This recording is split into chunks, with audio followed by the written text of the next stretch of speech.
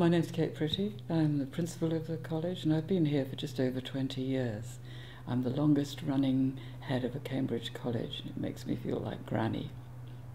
To be principal means that you're um, the uh, what's called a head of house. Um, you could have a different title at, at another Cambridge college, like master or mistress or warden or whatever, but we've always had principals here.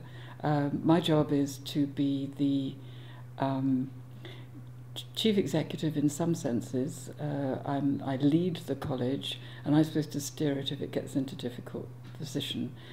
Hello, uh, my name's Deborah Griffin. I'm the bursar of Homerton College. I came to Homerton in 2012 and I was previously working in the City of London. My job as bursar is to support the fellowship in terms of running of the operations of the college uh, so that they run efficiently for the benefit of the students uh, and the fellows. Uh, Homerton is the, the newest college in Cambridge and it's also uh, one of the largest colleges in Cambridge.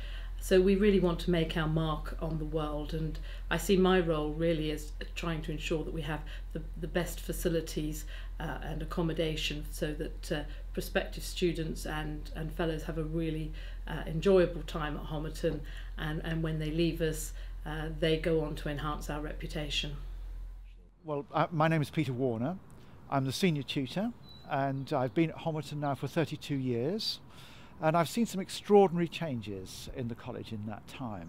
I'm responsible for all the pastoral care in the college and all the academic provision, um, finding all the teaching that we need for all the different subjects that we've got. Well, my name is Steve Watts and I'm the admissions tutor of the college. I also teach English because most people have two jobs in Cambridge.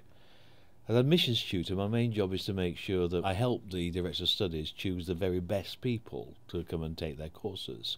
And what we mean by that is the most academically able, because that's the only criteria we use, who's academically able.